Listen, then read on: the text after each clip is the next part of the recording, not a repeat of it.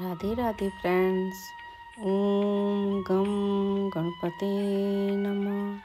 ओम नमो भगवते वासुदेवाय।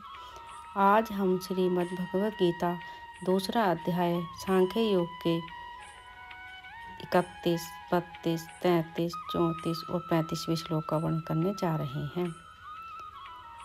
तथा अपने धर्म को देखकर भी तू वह करने योग्य नहीं है। अर्थात, तुझे वह नहीं करना चाहिए, क्योंकि क्षत्रिय के लिए धर्मयुक्त युद्ध से बढ़कर दूसरा कोई कल्याणकारी कर्तव्य नहीं है। हे पार्थ, अपने आप प्राप्त हुए और खुले हुए स्वर्ग के द्वार पर इस प्रकार के युद्ध को भाग्यवान क्षत्रिय लोग ही पाते हैं। किंतु, यदि तू इस धर्मयुक्त युद्ध को नहीं करेगा तो स्वधर्म और कीर्ति को खोकर पाप को प्राप्त होगा। तथा सब लोग तेरी बहुत काल तक रहने वाली अपकीर्ति का भी कथन करेंगे।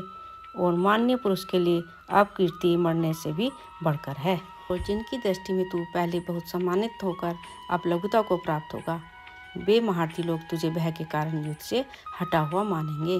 राधे राधे, ओम नमो भगवते वासुदेवाय। मेरे इस चैनल को ज़्यादा से ज़्यादा सब्सक्राइब करें, लाइक करें और शेयर करें।